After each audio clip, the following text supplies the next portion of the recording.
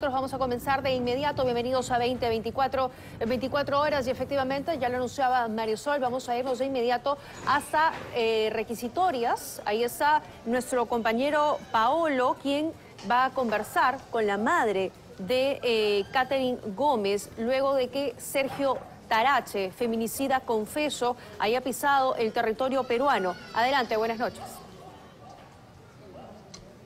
Buenas noches, Tatiana. Efectivamente estamos en la sede de requisitorias en San Juan del Urigancho. Cintia Macharé, madre guerrera que durante 10 meses ha estado detrás de este proceso de extradición, de este confeso feminicida, está con nosotros para hacer su pedido de justicia ante las cámaras de Panamericana Televisión. Buenas noches, bienvenida a 2024. Buenas noches. Están aquí para pedir justicia. Estoy aquí para pedir justicia por mi hija. Eh, hoy se cumple lo que me prometió Colombia. Hoy se culmina la extradición y empieza una nueva lucha en pedir con la condena máxima, que es la cadena perpetua para, el asesino de mi hija. En estos 10 meses, en algún momento, quizás se vio el panorama un poco opaco, un poco flaqueza, pero igual sacando fuerzas de donde no había. Así es, de donde no las hay, he sacado fuerzas para seguir en lucha por justicia por mi niña. ¿Qué, le espera ahora a este confeso feminicida acá en el Perú? Ustedes van a permanecer acá en las sedes requisitorias y luego mañana, ¿a dónde van a ir? Sí, acá lo voy a esperar para que él, para que él sepa de que Caterina no estaba sola. Caterina, eh, tenía madre, abuelos, tíos, familia, toda su familia, conocidos, amigos. Estamos acá acompañando para que él sepa de que Caterina no estaba sola, que vamos a seguir luchando. Ha venido Tatiana, justamente la madre, el padre de Caterine, ha venido sus abuelos, sus tíos, sus primos, también toda la familia a realizar esta vigilia unidos justamente por como lo dice la señora Cintia, para que sepa este sujeto que Caterine no estaba sola, que Caterine tenía el apoyo de su familia el día de hoy. No sé si tienes alguna consulta, Tatiana, para la señora Cintia Macharé. Sí, señora Cintia, muy buenas noches, gracias por atendernos. Comprendemos que son momentos difíciles, revivir el dolor que usted debe haber sentido durante todo ese tiempo tras el fallecimiento de su hija. ¿Cómo se siente en estos momentos con la llegada al Perú de Sergio Tarache, el eh, feminicida confeso de su hija Catherine Gómez? Bueno, siento un poco de alivio, ¿no? Saber de que pronto va a llegar la justicia. Todo no tenía que llegar. Colombia me aseguró, me brindó apoyo, respaldo y ahorita tengo su respuesta, ¿no? Que ya me entregaron al asesino, ahora vamos a seguir en esta lucha. Usted ha emprendido una lucha larga que se ha extendido por varios meses, la hemos estado siguiendo, incluso en un momento viaja a Colombia con sus propios medios para intentar acelerar esta extradición. Sí, claro, yo viajé a Colombia en septiembre del año pasado, como todos saben, viajé sola, por respuestas, por información, por, por saber algo, por hacer algo. La verdad no podía, me sentí impotente en mi casa sin hacer nada.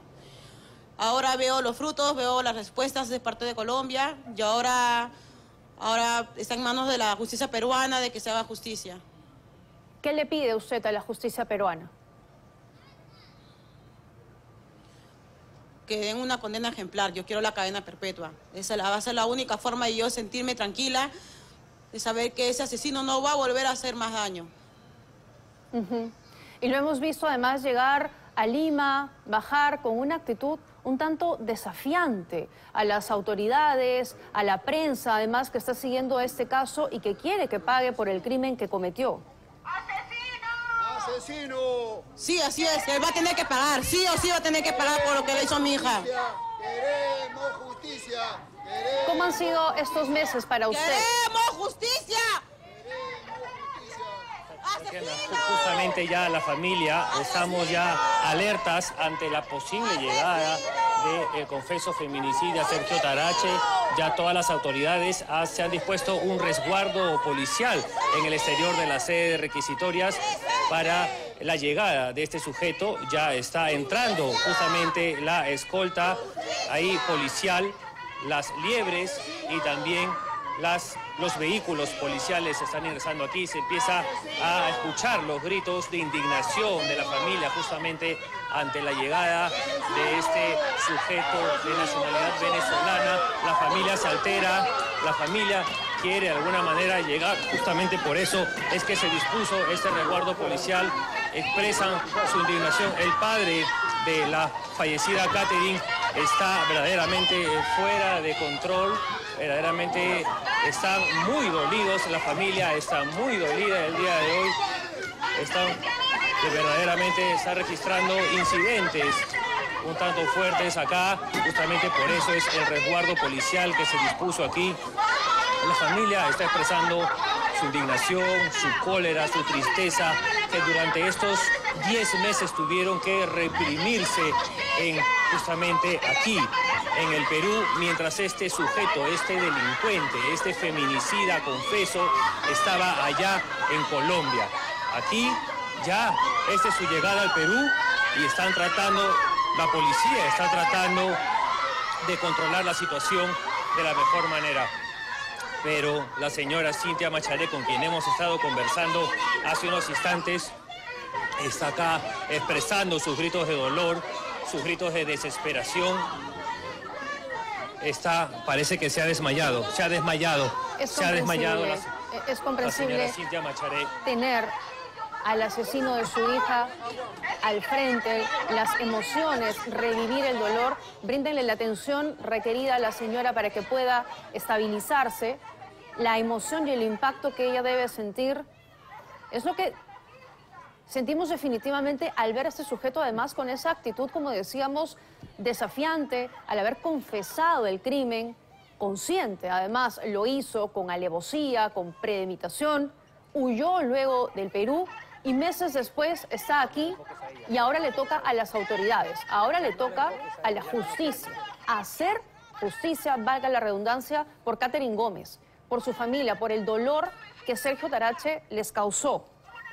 Y de hace varios meses que están exigiendo, la señora misma ha emprendido una lucha por su hija que es realmente admirable. Ha sacado fuerzas de las entrañas para hacer justicia para y por su hija. Y debemos resaltar que eh, la familia durante todo ese tiempo está recibiendo asistencia psicológica por parte del Ministerio de la Mujer, algo que no debería cesar. Este caso es mediático, sin duda, pero debería ocurrir también en todos aquellos que eh, son denunciados y aquellos que incluso no, porque la familia sufre muchísimo. Le toca ahora a las autoridades, insisto, hacer parte. Cadena perpetua es lo que le correspondería a este sujeto Sergio Tarache.